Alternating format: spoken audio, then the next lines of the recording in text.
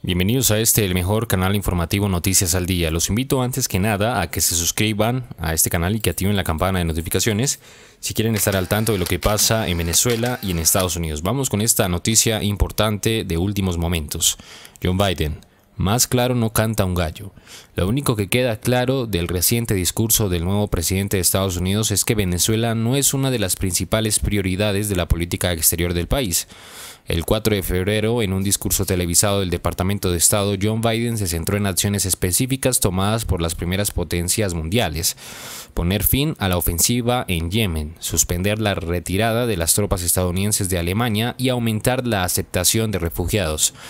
De manera más general mencionó la confrontación con Rusia y China y la postura que los rodea sobre los abusos económicos y de seguridad sería menos tolerante. Condenó el golpe de Estado en Myanmar, no mucho. Antes que nada también los invito a que dejen un comentario en este video y un me gusta también para apoyar a nuestro equipo investigativo. Muchas gracias. Así que olvidemos que será necesario debe y seguir prestando atención a nuestros asuntos de inmediato en la agenda estadounidense. Lo mismo ocurre con otras partes del hemisferio. Sin embargo, debemos tener igualmente claro que no estamos enfrentando el olvido de la nueva administración de Joe Biden, ni el desprecio inesperado por hacer política sobre nuestro país y los crímenes del dictador. Lo que sucedió fue que la estrategia se articuló en otro nivel y otro foco de los funcionarios a cargo fue hacerse cargo del día a día de las relaciones diplomáticas de Estados Unidos. Antes de la toma de posesión del presidente el 19 de enero, el nuevo secretario de Estado Anthony Blinken anunció sin rodeos que el país mantendría la política internacional de Donald Trump con respecto a Venezuela. Como dijo el pasado fin de semana el diario español, la razón Brinken hizo estallar la burbuja del sueño totalitario de Maduro y contó con los nuevos inquilinos de la Casa Blanca para inyectar un poco de aire fresco en apoyo a su régimen. Desde entonces no hay duda de que el presidente Biden ha reconocido claramente a Juan Guaidó. Las condiciones anteriores no se cumplen, por lo que no hay duda sobre el grado de apego estadounidense a nuestro regreso a la democracia pisoteada. Antes del discurso de John Biden, el portavoz del Departamento de Estado Ned Price hizo algunos comentarios sobre Venezuela. El primero es clasificar al régimen actual como una dictadura y el segundo es que la Casa Blanca claramente tiene la intención de no sostener conversaciones bilaterales con Maduro y sus subordinados.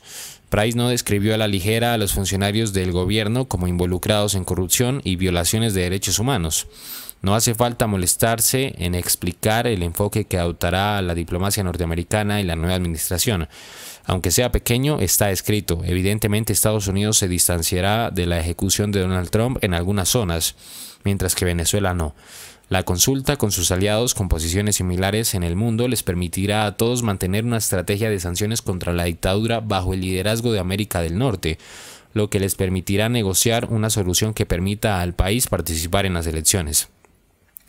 Esto también es notorio a la hora de analizar que otros países desarrollados, incluida a la Unión Europea, están dando pasos para restaurar el sistema libre del país venezolano. Irán de la mano de John Biden.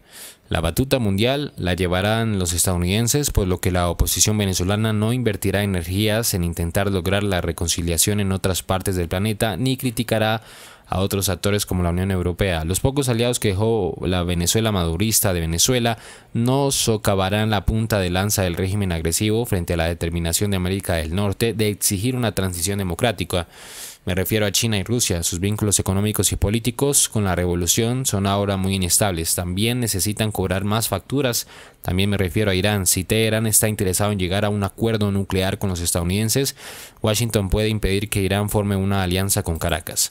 ¿Qué opinan de esta información? Nuevamente los invito a que se suscriban y activen la campana de notificaciones si quieren estar informados de lo que pasa a última hora.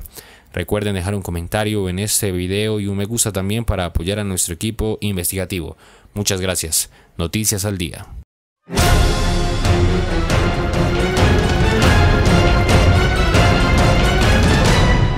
Si no te quieres perder de los últimos acontecimientos que pasan en el mundo, suscríbete y activa la campana. Somos Noticias al Día.